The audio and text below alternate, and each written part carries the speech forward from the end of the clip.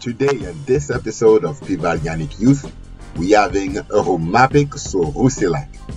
We're going to be working on basic warm up that's going to help you work on your handles.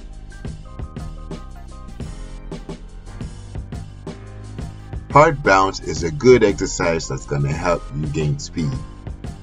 You dribble the ball as hard as you can so the ball get fast from your hand to the ground. Make sure to train it on a high stance or low stance. But don't forget it's a warm up, so feel comfortable.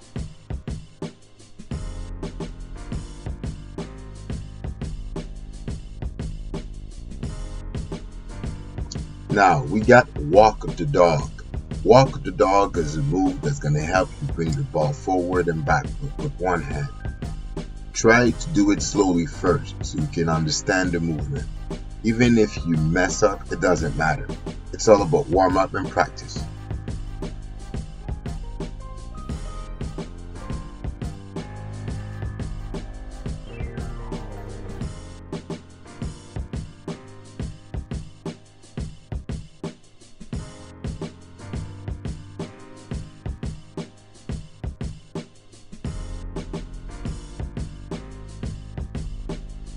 Between your legs.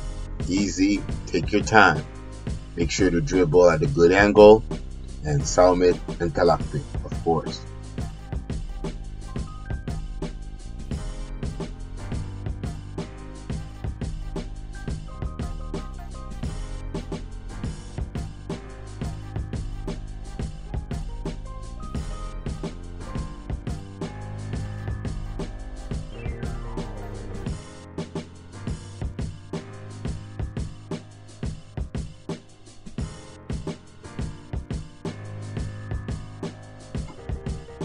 Behind the back.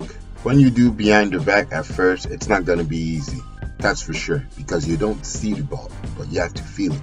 So try to dribble the ball behind your knees and take your time.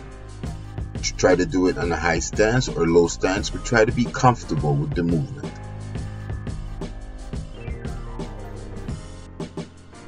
And now the last one. Crossover between your legs. Don't forget, do it Salmit and Talakpi. At first, it's not going to be easy, but as you can see, Qumaapik is working hard. Always working hard. Young Guns.